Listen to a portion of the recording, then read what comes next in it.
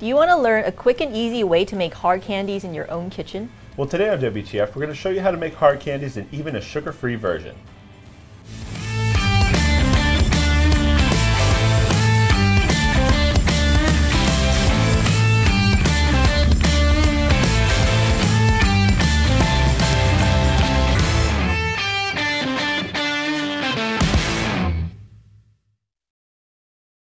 Hello and welcome to WTF, where we transform food here in the Modernist Pantry Test Kitchen. I'm Chef Scott Guerin.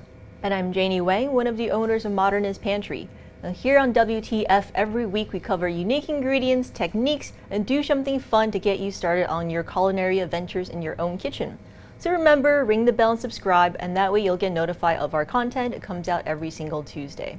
And this week we're going to be focused on how do you make hard candies which I think is a really fun thing that you can do at home. You can make your own, and we're going to show you exactly how to do it and what to watch out for to make sure that you don't run into any issues.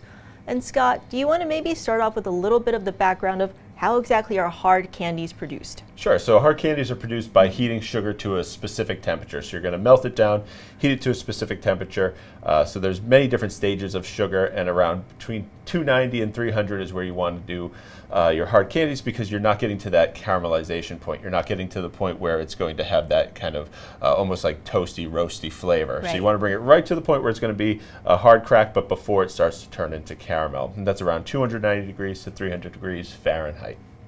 And there are some issues that you can run into there. Uh, so uh, a little example right here is if you get there and let's say it starts pulling in sugar crystals from the side of the pan, which we're going to show in a little demo here, okay. uh, it's going to crystallize and it'll seize up. So this is the first thing that people will see if something goes wrong. But okay. there's ways to get around that. Okay, and what exactly is happening when um, someone says, "Oh, my sugar has crystallized." So it's basically seizing. It's grabbing a, a, like a stray crystal of sugar off the side of the pan, and there's a way to prevent that, and I'll show you in the demo. Okay. Uh, it's a, grabbing one of those stray crystals, and it's just causing a chain reaction throughout the entire thing to just set the entire mixture, even if it is hot. So this was hot. This was about 290 degrees okay. when we did this, and uh, just for demo purposes, it's very simple. If I throw a little tiny bit of sugar, like say if I go, oh, that's not enough, and I try to add more sugar to my mixture, mm -hmm. it's gonna, just going to seize up immediately. So okay. you don't want to do that. Once your sugar's in there, you want to do as little to it as possible uh, to prevent this. But like I said, there's ways to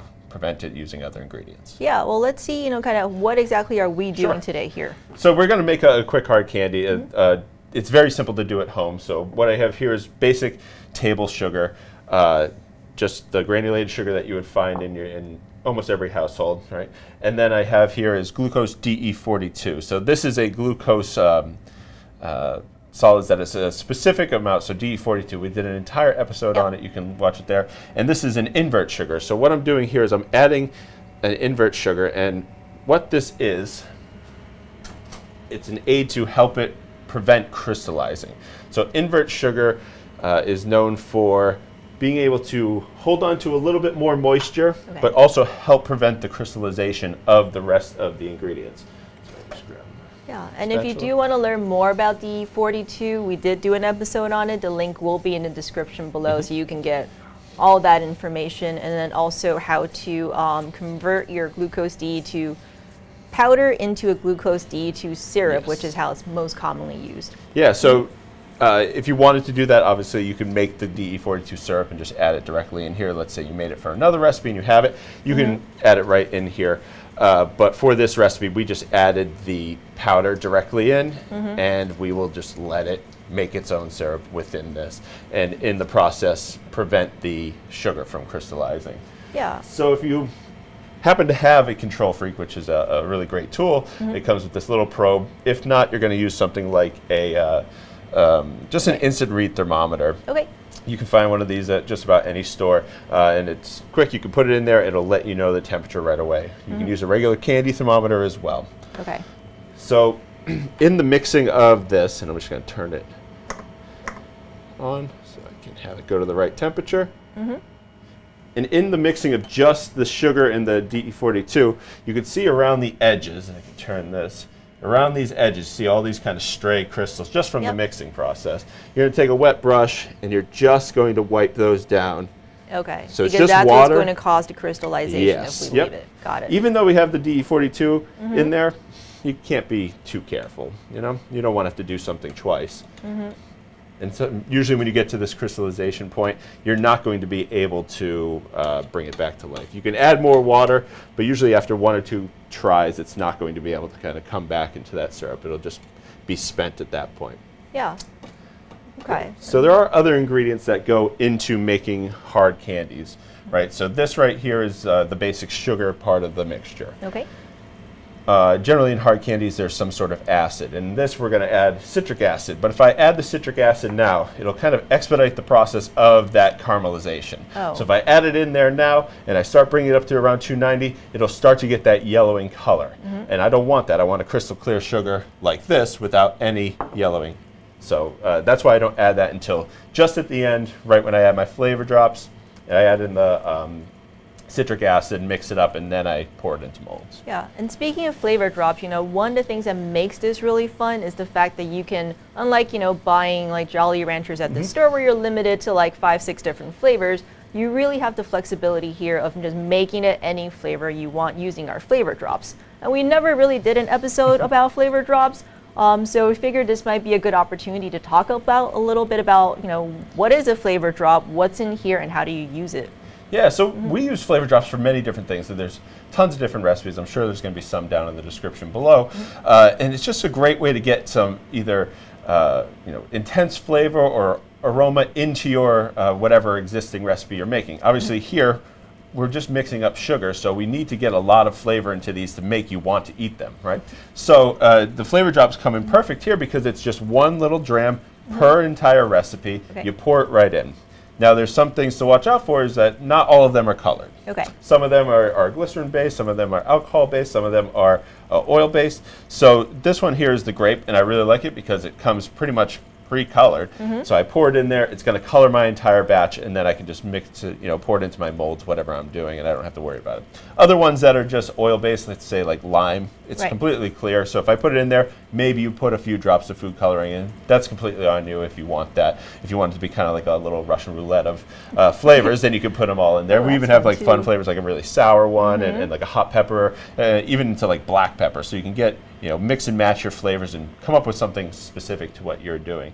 But we've also done other cool things like mix it into oil and then make powders out of it. So there's a lot of different cool things you can do with them, and you can see we have over 50 different flavors that Yep. you can choose from and you can build upon. But uh, they're really used, the initial use that we had for these is with our culinary crystals. Yep. And our culinary crystals are like our own kind of style of pop rocks that you coat with a little bit of fat and then one of these um, flavors, and you can customize your own uh, culinary crystals pop rocks. Yeah, and some, you know, a lot of the other uses people use them for. You can even use them for something as simple as flavoring water. Yeah. Right? So you want to make a flavored water just to make it a little tastier. Obviously, flavoring all kinds of candies, not just hard candies. I think, did we put them into ice cream? I don't even remember. Uh, I put them into so many different things. I like I said, you'd probably have to look in the description below to see all of them. Yeah. But yeah, i- if you go to the flavor drops, uh, you know, part, it, if we put it into something, it'll be there on, on the website as well. So uh, there, there's a lot of different things that we put them in. We really like to use them just because it gives you a, a little bit of extra aromatics to your recipe, and it's a nice kind of fresh flavor. So we're getting very close to our temperature here. I'm about 250 to 270, depending on where I put the thermometer. So I want to make sure it gets up to that 290. Okay. But for uh, demo purposes, I'll let this come up just a little bit more so we can see the rest of the process. yeah. So very simply, you can see it, it's molten here. There's no crystals of sugar around the outside, so they're not going to jump, jump in there and you know, seize up my entire mixture. Mm-hmm. At this point, I would add my citric acid, so I'm just going to add it in and mix it up. And I'll turn off the heat. Right. If you don't turn off the heat or you don't remove it from the heat, uh, let's just say it is at that 300. Around that point, it could start to turn, you know, um, kind of caramel. Okay. you. So, and then I'll take my flavor drops, and I'll pour them right in. Actually, this is a good little thing. You may not be able to see this, but see a few little kind of yellowing spots in there. That's from the citric Yep. acid starting to caramelize it. So, Okay, and I think luckily with the grape, that'll just kind of cover that up. but Yeah, that little bit, that's fine. It's Right. Mm-hmm. going to happen a little bit. So when I mix in the grape, and whenever you add in your color, you don't want the entire thing to be that kind of caramel because the caramel does have a uh, you know a pretty distinct flavor. And if it gets too far, then it tastes burnt, and nobody wants burnt sugar. Okay. Great. So I have my grape in here. And then you can take it. I'm obviously let this cool a little bit before I pour it directly into my molds. If you have, you know, uh, a stainless steel table or something like that, you can pour it onto there and you can work with the sugar. You can pull it and make it really kind of glossy, ribbon candy, all different types of things you can make with this.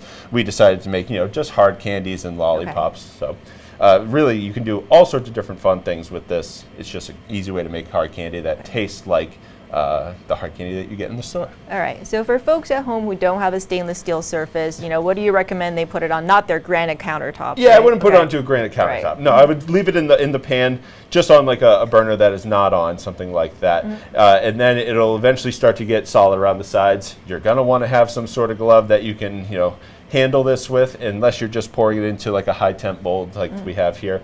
These absolutely work perfectly right out of here after about you know five minutes of cooling. Mm-hmm. You can then either spoon it in or you can pour it in gently. I would just put it onto a sheet pan or some sort of metal pan, Mm-hmm. uh, so that way you're not you know heating something up like your granite countertops that Right. could potentially you know, crack or or just do some damage. You don't want to do that. Yeah, and kind of while we're waiting for that to cool, one of the other things we uh, we wanted to offer people who want to do this is a um, sugar. I don't want to say sugar-free, but a sugar alternative for Yeah. people you know who might be watching about their glycemic index and things like that. What do you recommend for a sugar alternative? Great. So that's a great question because we did make a, a sugar alternative. This will be right on the recipe. So when you get to hard candy, you'll be able to see a regular recipe, and then Okay. you'll be able to see one that is a uh, low glycemic index. So Mm-hmm. uh, if you're diabetic or you're just watching your sugar intake, Mm-hmm. uh, you can then use you know eat these.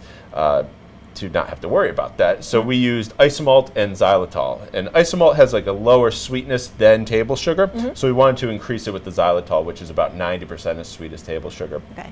and it works the exact same way. You put it in there with the water. The only thing that is different is that with these, you heat them up to a much higher temperature. Okay. Because if you don't heat them up to a much higher temperature, they uh, they don't react the exact same way as sugar. So this comes to about 375 before you can, and it's not going to caramelize because it is it's a different type of sugar.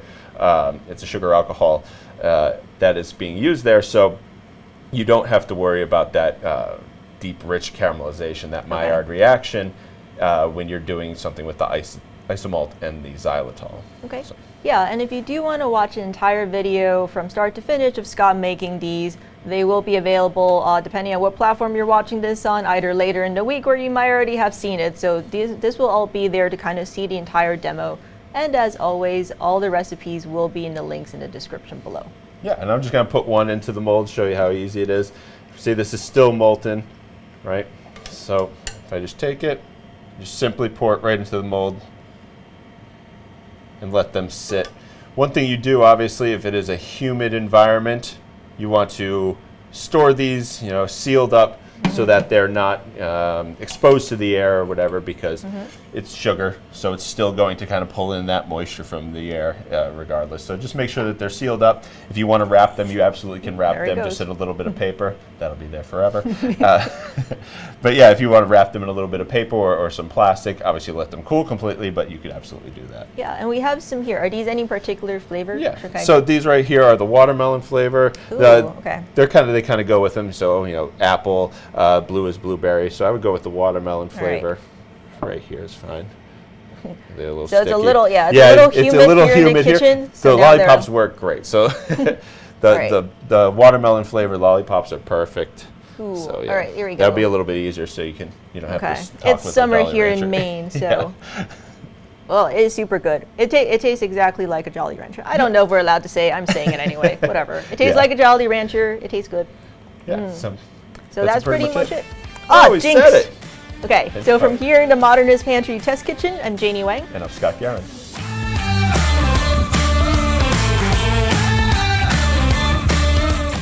Thank you so much for watching. And if you haven't already, like, comment, and subscribe. And hit that bell so you get notified when we drop a new video. To get today's recipes and all of our recipes, remember to go to blog.modernistpantry.com where you'll get recipes, ask a chefs, tips and tricks, and more. And if you haven't already, tell a friend so they know what's going on here at WTF. And as always, to get any of the ingredients you saw today, you can go to modernistpantry.com to shop. And until next time, we'll be here in the test kitchen helping you create memorable and magical experiences.